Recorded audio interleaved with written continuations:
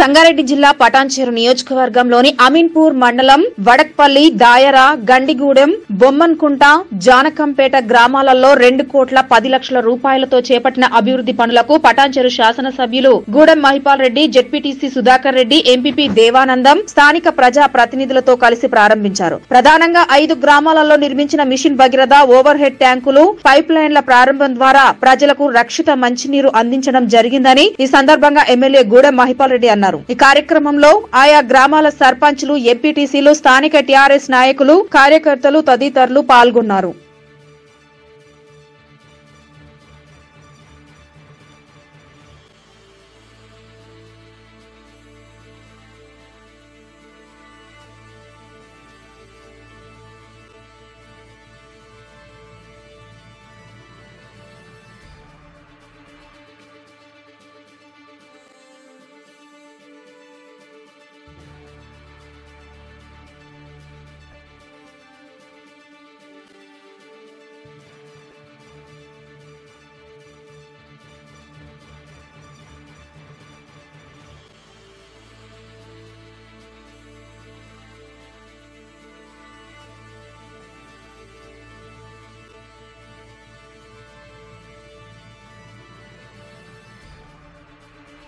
ఏర్పడ్డ మీన్పూర్ మండలం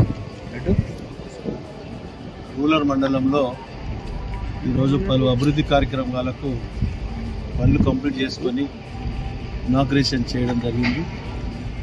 ఈ కార్యక్రమంలో జడ్పీటీసీ సుధాకర్ రెడ్డి గారు మీన్పూర్ అలాగే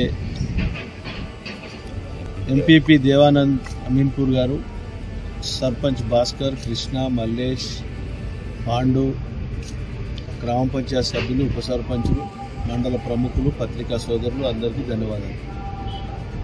ఈరోజు రెండు కోట్ల పది లక్షల రూపాయలతోటి మహిళా బిల్డింగ్ కానీ ఓహెచ్ఎస్ఆర్ ట్యాంకులు కానీ ఈరోజు డ్రింకింగ్ వాటర్ ప్రాబ్లం లేకుండా అన్నీ కంప్లీట్ చేసుకొని ఇనాగ్రేషన్ చేసుకోవడం జరిగింది.